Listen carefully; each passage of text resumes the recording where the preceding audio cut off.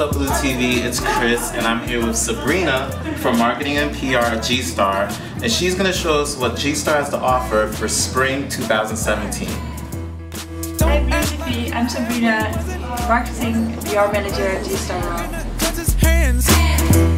Don't act like you was there when you wasn't. I know they say crawl for you all. But in We my resulted from your previous campaign, the brand campaign, it's a World Love program. The cool sweats with some more color. That ever since we uh, have Pharrell on board, Right. we see it more back in our collection. Right. I was just say I love the pink, and you were saying that this is actually Pharrell's influence. Look at his hair. Okay. Awesome.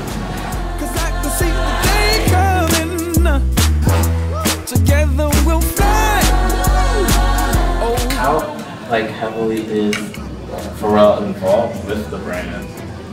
So he became co-owner Uh-huh. of G-Star in um, beginning of this year. Uh huh. And ever since, um, he's been involved on multiple levels, basically from uh, collection inputs to uh, our brand campaign. So he's also the one who came up with the idea for uh, the family portrait that you've seen in the fall winter uh, Right. campaign.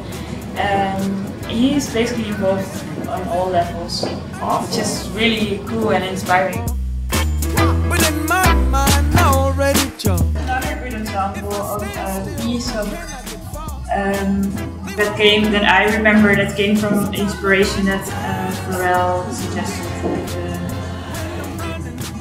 Kilted. Will. Yeah. Right. Be right.